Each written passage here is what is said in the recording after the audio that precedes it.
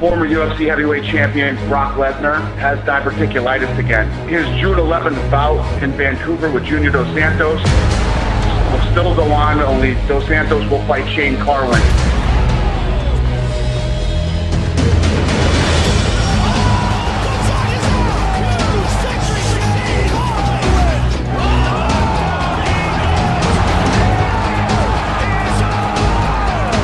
Huge, powerful, explosive guys going in to fight each other, two freight trains that are going to crash head to head.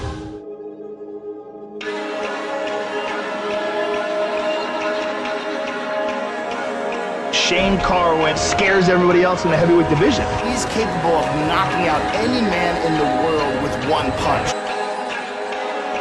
Don't blink at all when Carwin fights. He is a beast. There's very few great opportunities in life like this. This is where I get to challenge myself. And this is one of those moments that you have to embrace in life. My fight against him is gonna be very, I think it's very good for me because it's gonna prove uh, I am the number one in the line for the title shot.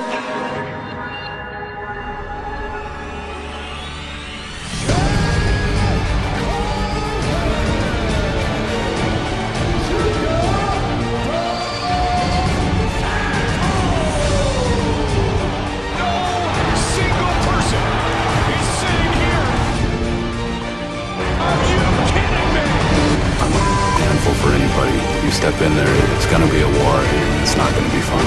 If he try to attack me, I will not. I guarantee when people tune in, it's gonna be an explosion.